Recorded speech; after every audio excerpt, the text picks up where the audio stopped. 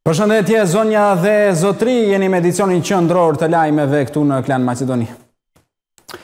Serbët në veri të Kosovës vijojnë edhe sot protestat para komunave me shumicë serbe. NATO është e gatshme të dërgojë edhe më shumë trupa në Kosovë për të qetësuar dhunën në veri të vendit të banuara me shumicë serbe. Si ka qenë situata gjatë ditës, do të ndjekim një material përmbledhës që ka përgatitur Korrespondentja e televizionit Klan në Prishtinë, Blerta Dalloshi Berisha. Situatë e qetë po mbretëron në tri komunat veriore ku qytetarët serbë po protestojnë kundër hyrjes në objekte të komunave të kryetarëve shqiptarë të cilët kanë fituar në zgjedhjet e 23 prillit. Ata gjithashtu Po kërkojnë që të largohet Policia e Kosovës nga objektet e komunave si dhe nga qyteti. Gjatë ditës së sotme është vërejtur prani e madhe e trupave të KFOR-it në rrugët e qytetit të Zveçanit si dhe të qyteteve Leposaviq dhe Zubin Potok, ku janë zëvendësuar nga, do të thotë policia është zëvendësuar nga trupat e KFOR-it, kërkesë kjo që ishte e Listës Serbe, për çka edhe përfaqësuesit e Listës Serbe falënderuan KFOR-in në mëngjes. Gjithashtu një protestë ishte paralajmëruar, apo mund të them më mirë ishte një fake news nëpër rrjete sociale ku do të organizohet një protestë në orën 12 në urën e Ibrit në pjesën jugore të Mitrovicës. Sigurisht se Policia doli me njoftim që nuk është paralajmëruar asnjë protestë apo lajmëruar në polici nga ndonjë organizator dhe disa qytetarë sigurisht me të parë në rrjetet sociale një numër shumë i vogël i qytetarëve kishin ardhur në jug të Mitrovicës në të njëjtën kohë në veri vërehej prani e madhe më e madhe e qytetarëve derisa kishte edhe persona të maskuar në rrugicat e veriut të Mitrovicës në Kosovë. Ambasadori i Shteteve të Bashkuara të Amerikës në Prishtinë, Jeffrey Hovenier, ka zhvilluar këtë pasdite një takim me kryeministrin e Kosovës, Albin Kurti. E pas takimit, Hovenier ka thënë se nuk ka arritur të ndryshojë Kurtit qëndrimin e tij për situatën në veri. Hovenier tha se në këtë takim ka theksuar edhe një herë qëndrimin e SHBA-së për nevojën e ndryshimeve në qëndrimet që ka shteti i Kosovës në situatën në veri për konkretisht për depërshkallëzimin e situatës dhe për mënyrat se si mund të arrihet në tërheqjen e njësive speciale dhe kryetarëve të sapozgjedhur shqiptar në komunat me shumicë sërbe. We talked about some of the very pressing issues, in particular we talked about the situation in the north of Kosovo right now. Folëm veçanërisht për problemet aktuale, situatën në veri të Kosovës. Ia përsërita edhe një herë qëndrimin e SHBA-së, siç është shprehur edhe sekretari Blinken, për nevojën e marrjes së hapave të menjëhershme, për depërshkallëzimin e situatës. Depërshkallëzimi mund të arrihet nëse kryetarët nuk punojnë nga zyrat dhe nëse njësitë speciale tërhiqen. Nuk mund të them se ia ndërrova mendjen Kurtit, por patëm një diskutim të mirë dhe është e qartë ajo që SHBA thotë se duhet të ndodhë. Folëm edhe për implementimin e marrëveshjes me Serbinë dhe që situata në veri është në dëm të saj. SHBA do ta inkurajojë Kosovën edhe më tutje për depërshkallëzim, po ashtu edhe qeverinë e Serbisë. E Qeveria e Kosovës nuk e ka ndërmend të tërhiqet nga aksionet në veri. Albin Kurti ka fajësuar bandat kriminale sërbe për situatën në veri. Ai ka mohuar për krisje të marrëdhënieve mes Kosovës dhe SHBA-së. Pavarësisht thirrjeve të ndërkombëtarëve dhe veçanërisht Shteteve të Bashkuara të Amerikës, Kryeministri Kurti nuk tërhiqet. Për situatën në veri, fajëson ato që i quan banda kriminale, nga të cilat sipas tij kjo pjesë e Kosovës duhet të çlirohet. Ne ndodhemi në një situatë të vështirë për shkak të grupeve të armatosura, të cilat shtiren si protestues e në fakt janë banda kriminale në veriun e Kosovës. prej të cilëve duhet të çlirohet edhe Republika jonë demokratike, por njëkohësisht edhe komuniteti serb dhe për këtë po ashtu e kemi mbështetjen e Shteteve të Bashkuara të Amerikës. Kurti hodhi poshtë që të ketë një krisje të marrëdhënieve mes Kosovës dhe Shteteve të Bashkuara të Amerikës, Raportet ndërmjet Kosovës dhe Shteteve të Bashkuara të Amerikës janë raporte të shkëlqyeshme bilaterale dhe kudo në arenën ndërkombëtare. Natyrisht që ka raste kur na dallojnë nga pak qasjet, mirëpo këto nuk janë gjëra të cilat janë thelbësore dhe kurrsesi vendimtare. SHBA i ka quajtur të nxituara veprimet e autoriteteve kosovare që kryetarët e rinj të hynin në godinat e komunave, ndërsa bën thirrje për ulje të tensioneve. E pas situatës së krijuar në veri të Kosovës, Ministria e Punëve të Jashtme e Kosovës gjithnjë ka ftuar qytetarët e Kosovës që të shmangin kalimin nëpër Serbi me qëllim të shmangjes së çfarëdo incidenti. Sipas njoftimit, Ministria e Punëve të Jashtme ka pranuar gjatë ditës raportime për arrestime të qytetarëve kosovarë nga autoritetet serbe përgjatë kalimit të tyre në Serbi.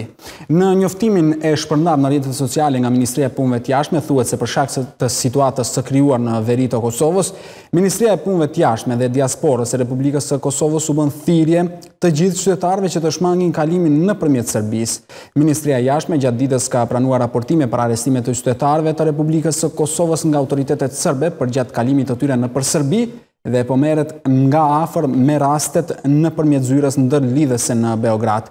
Marrë parasysh zhvillimet e fundit dhe duke e njohur qasjen jokorrekte të autoriteteve serbe me qëllim të shmangjes së çfarëdo incidenti, Ministria e Jashtme fton qytetarët që të përdorin rrugë alternative për udhëtim, thuhet në komunikatën e lëshuar nga Ministria e Punëve të Jashtme dhe Diasporës e Republikës së Kosovës. Do të vijojmë të flasim për situatën e krijuar në veri të Kosovës. Nga Moldavia, kryeministri Kovaçevski u ka bërë thirrje Prishtinës dhe Beogradit që të vazhdojnë dialogun, duke potencuar se paqja në Kosovë është paqe edhe për Ballkanin Perëndimor. Paqja në Kosovë është paqe për Ballkanin Perëndimor, ka qenë mesazhi i kryeministrit Dimitar Kovaçevski në margjinat e Samitit të dytë të Komunitetit Politik Evropian në Kishinau. Në kryeqendrën moldave, kryeministri Kovaçevski ka takuar presidentin serb, Aleksandër Vuçiq, kryeministrin e Shqipërisë, Edi Rama, dhe presidentin e Bosnjë-Hercegovinës dhe Greqisë, ku kanë diskutuar për zhvillimet aktuale në rajon dhe rëndësinë për mirëmbajtjen e paqes dhe stabilitetit. I think that the time of uh, conflicts uh, is far behind us. Mendoj se koha e konflikteve është shumë para nesh. Pra, zbatimi i marrëveshjeve tashmë të dakorduara ndërmjet Kosovës dhe Serbisë, si dhe aneksi i planit të zbatimit, duhet të jetë imperativ për politikanët nga të dyja vendet. Ne bëjmë thirrje për deeskalim dhe për vazhdimin e komunikimit midis dy vendeve me ndihmën e Bashkimit Europian dhe Shteteve të Bashkuara të Amerikës. Kryeministri Dimitar Kovaçevski së bashku me Kryeministrin e Republikës së Shqipërisë, Edi Rama, kanë realizuar një takim të përbashkët me Presidentin e Ukrainës, Volodymyr Zelensky. Është theksuar mbështetja e fuqishme që Maqedonia e Veriut i ka dhënë Ukrainës që nga fillimi i agresionit ushtarak të Rusisë kundër Ukrainës në shkurt të vitit të kaluar. Kryeministri Kovaçevski rikujtoi se Maqedonia e Veriut është pjesë e grupit themelues për themelimin e Gjykatës Speciale Ndërkombëtare për Krimet e Agresionit, Ukraina, siç thuhet në komunikatën e qeverisë, është ndër prioritetet gjatë kryesimit të OSBE-së nga Maqedonia e Veriut. Në të njëjtën kohë, Maqedonia e Veriut mbështet integrimin euroatlantik të Ukrainës dhe përkushtimin ndaj politikës së dyerve të hapura të NATO-s. Një prej udhëheqësve serbë të Kosovës ka kërkuar që Policia Speciale e Kosovës duhet të largohet nga qytetet veriore. Ndërkaq zëdhënësi i Këshillit të Sigurisë Kombëtare në Shtetet e Bashkuara të Amerikës, John Kirby, i ka kërkuar kryeministrit të Kosovës Albin Kurti që kryetarët e komunave t'i ushtrojnë detyrat nga jashtë objekteve komunale. Policia Speciale e Kosovës duhet të largohet nga qytetet veriore. Kjo është kërkesa kryesore e një prej udhëheqësve serbë të Kosovës. Sipas Igor Simic, Kryetarët shqiptarë nuk e përfaqësojnë shumicën serbe. Ata duhet të largohen nga kjo zonë, sepse nuk përfaqësojnë asgjë. Pjesëmarrja ishte më e ulët se një përqind. Problemet në veri nisën kur kryeministri i Kosovës Albin Kurti vendosi të krijojë kaos me Serbinë.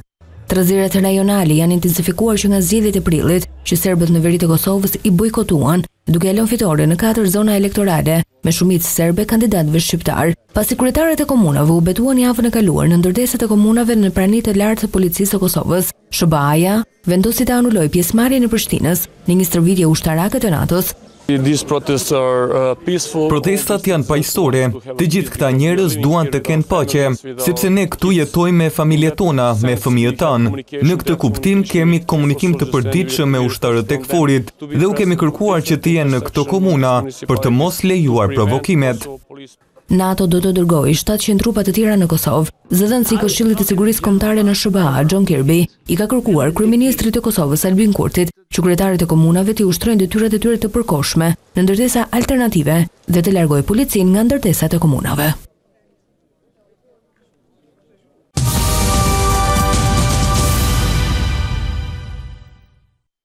Nga samiti në Moldavi, kryeministri Kovaçevski dhe presidenti bullgar Rumen Radev janë prononcuar edhe rreth raporteve Sofje-Shkup, si dhe nevojës për ndryshimet kushtetuese që Maqedonia e Veriut duhet t'i zbatojë gjatë periudhës në vazhdim, pra futjen e bullgarëve në preambulën e Kushtetutës.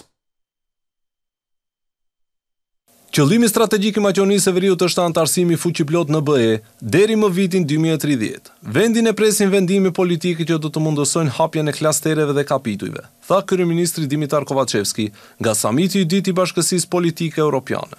Sipas kryeministrit, për këtë temë dje në Bratislavë ka biseduar me presidenten e Komisionit Europian, Ursula von der Leyen dhe me presidentin e Francës Emmanuel Macron.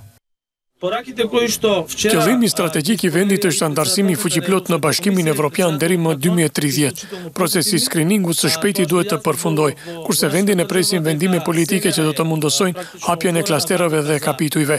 Republika e Maqedonisë së Veriut dëshmoi se përmes diplomacisë dhe vendimeve të vështira arriti të bëhet anëtare e NATO-s me negociata të filluara me Bashkimin Evropian, vend kryesues me OSBE-në dhe faktor stabiliteti në rajon.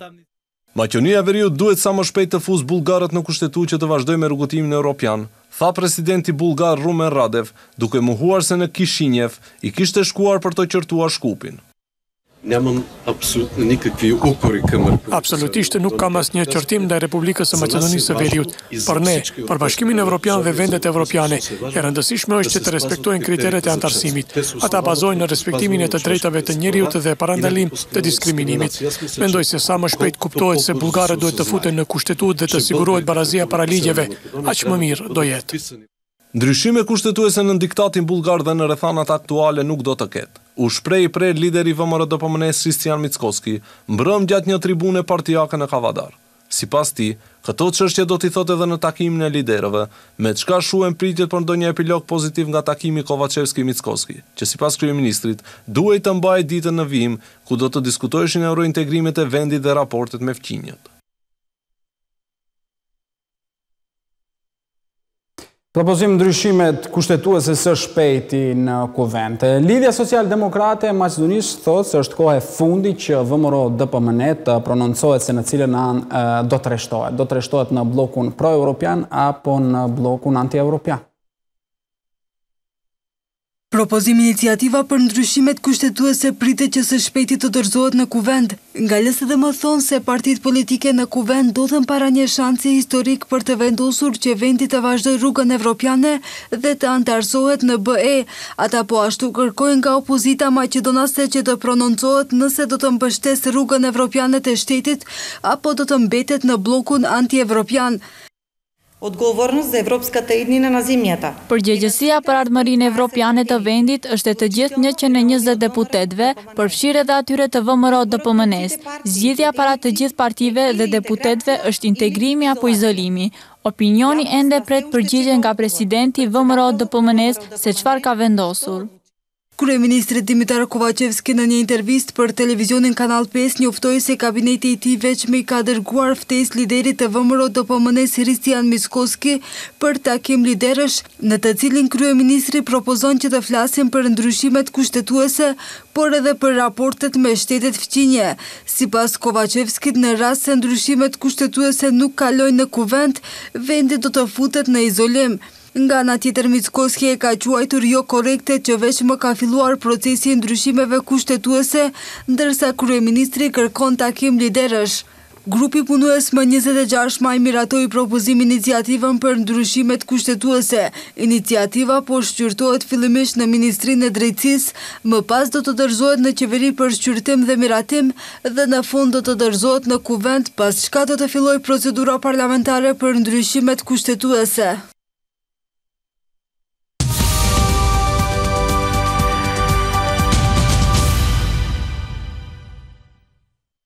Nisin aktivitetet për ndërtimin e korridorit 8 që do të mundësojë që 110 km të ndërtohen në një kohë rekorde prej 55 muajve. Në pjesën Tetovë Gostivar, filluan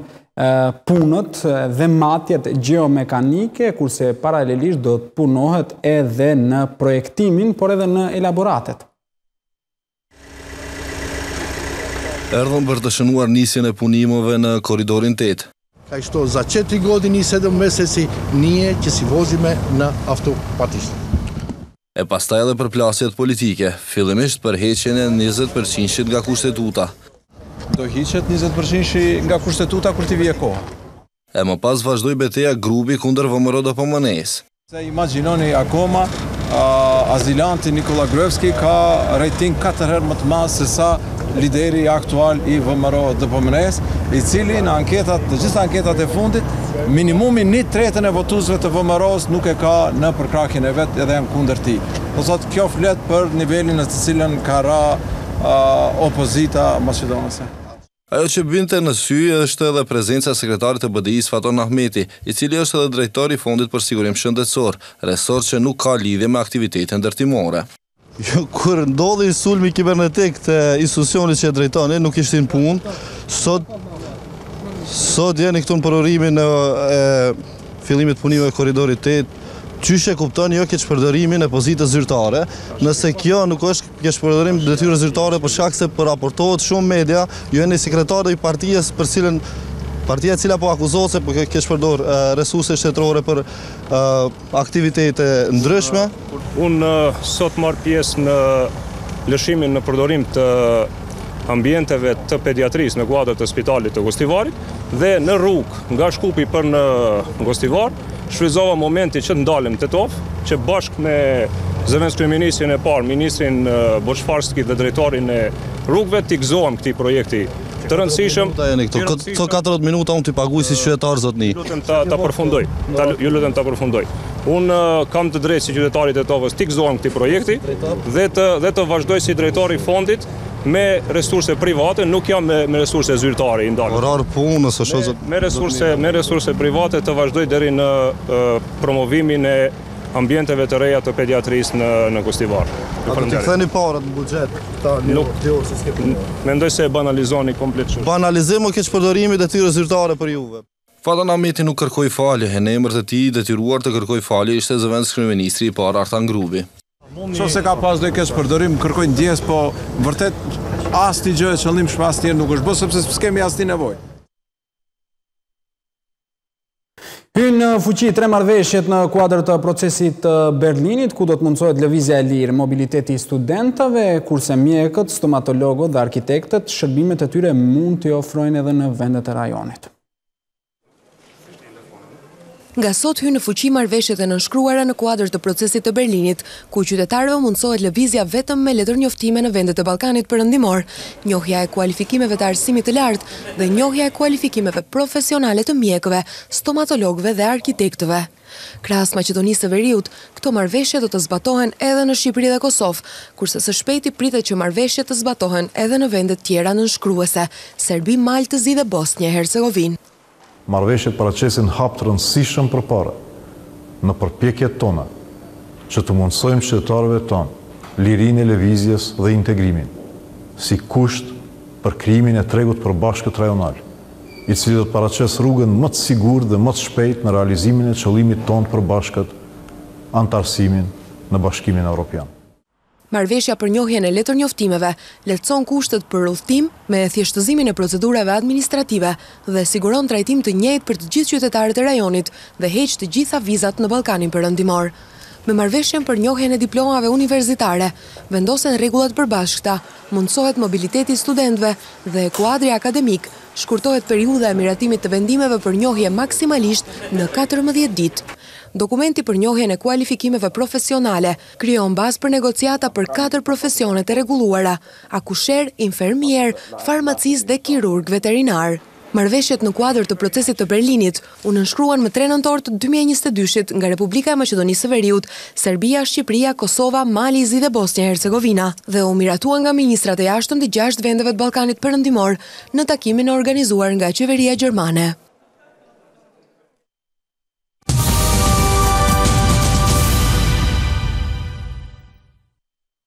Ndërpritet masa qeveritare për ngrirjen e çmimeve. Qytetarët druajnë se kjo mund të shkaktojë valë shtrejtimesh të reja duke potencuar se edhe çmimet aktuale janë shumë më të larta.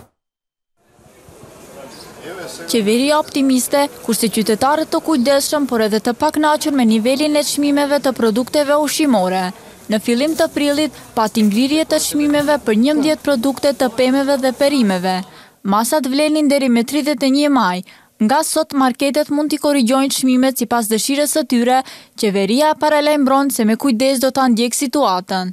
Por, qytetarët thonë se çmimet janë shumë të larta kurse të ardhurat mezi mbulojnë harxhimet.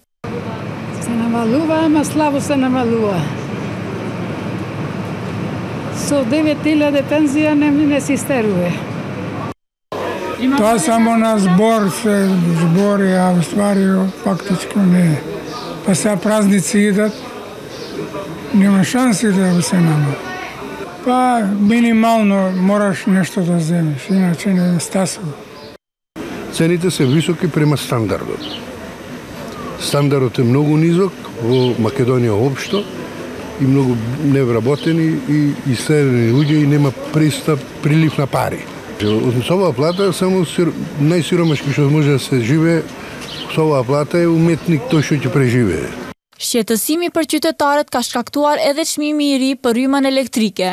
Nëse Komisioni Rregullator i pranon kërkesat e operatorëve, çmimi do të rritet për trembëdhjetë për qind, por edhe TVSH-ja do të kthehet nga dhjetë në tetëmbëdhjetë për qind, që në total, rritja e përgjithshme do të jetë deri në njëzet për qind.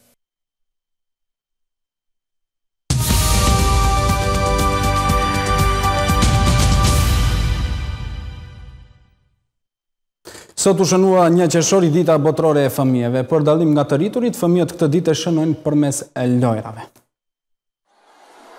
Në festën e një qershorit Ditës Botërore të Fëmijëve, nxënësit e klasave të para dhe të dyta të shkollës fillore Ismail Qemali në Çair, Kishin përgatitur shfaqje për përfundimin e shkronjave të Abetares. Secili fëmijë mbante nga një shkronjë në kokë dhe bënë prezentimet e tyre me performancat e përgatitura nga vetë mësueset. Drejtorja Teuta Imeri, tha se përkundër sfidave me të cilat u përball arsimi në periudhën e fundit, ky vit ka qenë i suksesshëm. Pra sot është një qershori, dita ndërkombëtare e fëmijëve dhe ne e kemi lënë që me këtë festë ta festojmë edhe festën e abetares, për shkak që tashma me këtë plan programin e ri e dim që shkronjat i mësojmë në klasën e parë dhe i përsërisim ato dhe i shtohen shkronjat e dorës në klasën e dytë. Më thënë klasat e para dhe të dyta sot përfundojnë abetaren edhe në këtë ditë një qershori ditë ndërkombëtare të tyre ne bëjmë festën e abetares.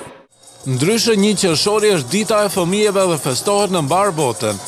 Kjo ditë nuk është vetëm ditë festive, por shërben për të sensibilizuar dhe për t'i thënë jo dhunës dhe abuzimeve ndaj fëmijëve. Është dita kur vetë fëmijët ngrenë zërin për të drejtat e tyre, Por për dallim nga të rriturit, protesta e tyre bëhet me lojra festive. Një qershori festohet si Dita e Fëmijëve për shkak se në këtë datë në vitin një mijë e nëntëqind e njëzet e pesë në Gjenevë u mbajt Konferenca Botërore e Mirëqenies së Fëmijëve. Seleksionuesi i Maqedonisë së Veriut në futboll Blagoja Milevski në prag të dy ndeshjeve kualifikuese për Euro dy mijë e njëzet e katër me Ukrainën dhe me Anglinë bëri publike listën e lojtarëve të ftuar. Në listën e njëzet e nëntë futbollistëve që e publikoi seleksionuesi Milevski, figuron një debutues. Bëhet fjalë për Sefer Eminin nga skuadra daneze Sonderjyske, ndërsa do të mungojnë dy sulmuesit, Miovski dhe Churlinov, shkaku i lëndimit si dhe Nikolov e Kire Ristevski, shkaku i minutazhës jo të duhur. Shto se odnesuva do spisokot imame eden debitant. Sa i përket listës kemi një debutues, Sefer Eminin, i cili me paraqitjet e tij në Sonderjyske të Danimarkës, mendoj se e ka merituar të jetë pjesë e ekipit, ndërsa lojtarët tjerë janë nga grumbullimi i fundit në mars.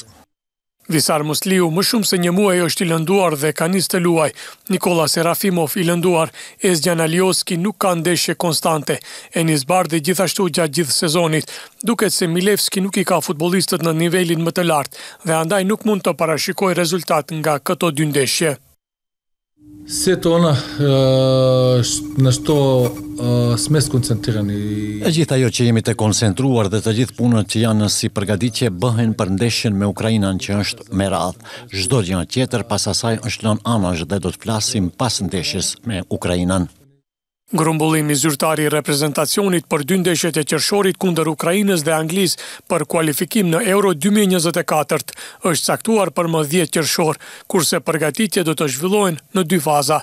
Maqedonia e Veriut në grupin e ferrit nisi me fitoren kundër Maltës, kurse e presin dy përballje mjaft të forta, më gjashtëmbëdhjetë qershor në Shkup kundër Ukrainës, derisa më nëntëmbëdhjetë qershor kundër Anglisë në Manchester. Tu është fundi i lajmeve, bashkë mirupafshim.